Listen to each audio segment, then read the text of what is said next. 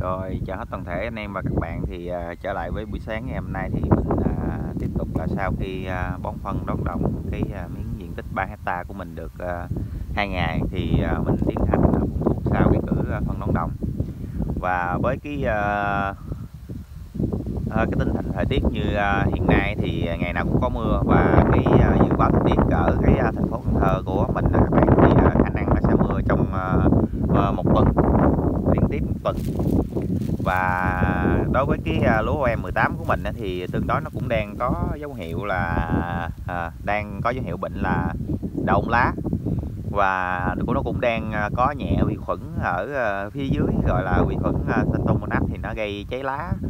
Một số lá chừng cũng cũng một số nơi ở trong cái ruộng của mình thì mình sẽ quyết định là phun đạo ôn vi khuẩn. Cái nghe các bạn đậu ôn vi khuẩn. Và mình phun một cái mang tính chất gọi là quyết định thì uh, mình đưa ra một cái quyết định sử dụng uh, cái uh, sản phẩm để trị đau ôn và vi khuẩn một cách uh, triệt để. Thì uh, đối với cái uh, sản phẩm trị đau ôn và vi khuẩn thì mình cũng uh, sẽ giới thiệu anh em và các bạn là những cái uh, sản phẩm mà uh, mang chất là thương hiệu thì uh, đây với cái sản phẩm uh, đặc trị đau ôn thì uh, cái sản phẩm BIM 75 lực nó hoạt chất nó là Chisilayon nè các bạn. Thì à, đối với cái sản phẩm này thì à, cái sản phẩm này là của cái thương hiệu Dow Rosen của Mỹ. Thì do công ty VFC phân phối. Ha, các bạn thấy không? Pin này là pin chính hãng nha các bạn. Các bạn phải thấy cái à, cái pin chính hãng này sau cái chữ pin nó có chữ R nhỏ này các bạn thấy không? Thì bất cứ một cái tên sản phẩm nào nếu mà nó mang cái tính chất gọi là hàng chính hãng đó các bạn thì sau cái tên thương mại nó có một chữ R nhỏ? Nó có cái chữ R nhỏ này nè các bạn đó là cái ờ, cái tên thương hiệu nó chính hãng. Đó. thì ờ, nhà nước đã quy định một số cái uh, sở hữu trí tuệ và bảo uh, hộ độc quyền các bạn. Đó nó là cái uh, như vậy. Thì mình cũng chia sẻ để anh em nhận định là cái đâu là pin Mỹ chính hãng và đâu là cái pin Mỹ không phải là chính hãng. Thì cái pin này do công ty VFC phân phối thì à, nói sơ về cái pin Mỹ thì anh em và các bạn biết đó thời xưa thì pin Mỹ có hãng đầu đó sen thì nó sản xuất tại Mỹ luôn, cái nguồn nguyên liệu tại Mỹ luôn. Nhưng mà hiện tại thì cái à, nguyên liệu xuất xứ của nó là Ấn Độ, các bạn, nó cũng là đau sen nhưng mà nó của à, India nè, các bạn, Ấn Độ. Nhưng mà nó của hãng đao thì chất lượng nha các bạn. Đó, thì đối với cái đậu ôm thì mình sử dụng pin Mỹ.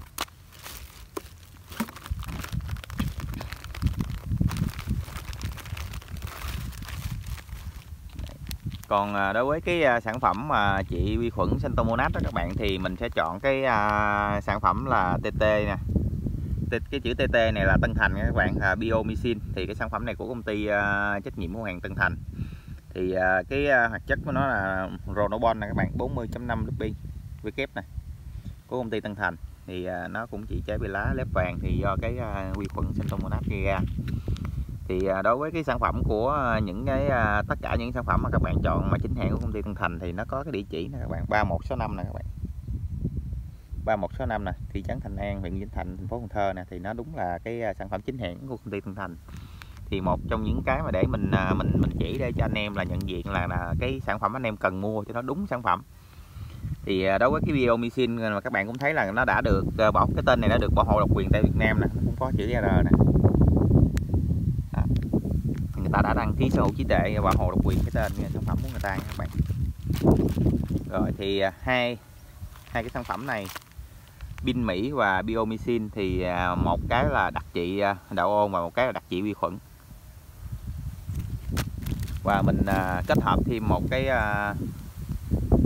cái loại à, Casumin 2SL nữa là cái à, gốc này là gốc kháng sinh nha các bạn. Thì à, nói chung là một lần phun này của mình đó là mang tính chất là không cần phun lại là chúng ta cứ yên tâm mà đi ngủ. Không cần phải chúng ta có thể hai, ba ngày chúng ta có thể đi thăm đồng vẫn được, không có lo về đau ôn quy khuẩn nữa là chúng ta phun một lần là gọi là mang tính chất gọi là quyết định các bạn. Thì bữa nay thì mình phun với cái công nghệ gon. Thì đó là những cái mà gọi là quyết định. Còn đối với à, cái à, hiện tại thì sâu đục thân và sâu cuốn lá thì mình sẽ chọn sản phẩm rì pha thông. Rì pha thông của FMC nha các bạn. Này cái sản phẩm này rì pha thông này là chính hãng của công ty FMC thì cũng à, như hai sản phẩm ba sản phẩm kia thì cái rì pha thông nó cũng có chữ R nè các bạn. Các bạn thấy cái tên rì pha thông nó có chữ R khoanh tròn như vậy thì là đúng là rì pha thông chính hãng. Rồi với cái uh, rì pha thông này thì cái lượng nó là 0,2 đến 0,4 lít cho hecta thì mình cộng lại rồi mình chia 2 có nghĩa là mình sẽ xịt là 0 0,3 lít có nghĩa là 300 ml cho hecta đó các bạn. Còn à, đối với pin Mỹ thì à, đối với à, đậu ông lá thì là 25 g có nghĩa là 250 g cho một hecta thì mình cũng phun cái lượng 250 g còn với cái sản phẩm Iomycin này thì nó cái lượng là 300 g trên một hecta này các bạn. Casumin thì một lít hai đến lít rưỡi nha các bạn. Thì đó là một trong những cái à, loại thuốc mà nó có thể là mình à, mình sẽ sử dụng cái cử à, sau khi bón phân đồng. Và cái loại thuốc này là mang tính chất à, quyết định là chúng ta phun một lần là yên tâm không cần phải à, lo lắng gì cả. Rồi đó là một số loại thuốc mình chia sẻ với anh em và các bạn. Thôi thôi chào tất cả anh em và các bạn.